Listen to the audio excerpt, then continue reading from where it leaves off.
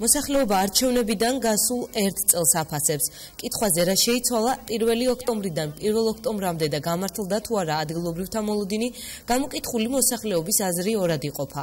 ნაწილი აცხადებს, რომ 1 ოქტომბრის არჩევნების შემდეგ სასიკეთო არაფერი გაკეთებულა. ნაწილი კი განხორციელებულ ცვლილებებზე საუბრობს. შეიცვალა. ხელისუფლება შეიცვალა. საუბედუროთ ხალხს არა. რაც შეგვიდა ხალხს, არაფერი არ გაკეთებულა. ფაქტიურად არაფერი არ გაკეთებულა. გლეხობა ზან კარგად მოუწყვეს ხელი რაღაც რაღაცები შეიძინეს ოჯახისთვის ბავშვებისთვის სკოლა უფასოდ გადაყავთ. შეაფასებთ ამ წელიწადში შეიცვალა რამე.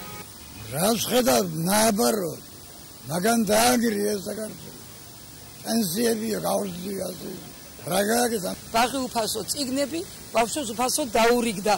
17 ფაკულტეტი უფასოა უნივერსიტეტის ძალიან დიდი კმაყოფილება. ახლა ზოგისთვის შეიცვალა, ზოგისთვის რაც იყო ის არის. ზოგისთვის შეიძლება გაუარესდა კიდეც. მოლოდინი მეტი მქონდა და რაღაცა დაამოხრუჭა და არ ვიცი მიზეზი რა იყო. შეიცვალა ზოგ რაღაცებში. მაგრამ თავრობა უნდა იყოს პრეზიდენტი და პრემიერი უნდა იყოს ერთ ჯგუფად შეკრული. შეგახსენებთ, რომ საპარლამენტო არჩევნები 2012 წლის 1 ოქტომბერს ჩატარდა.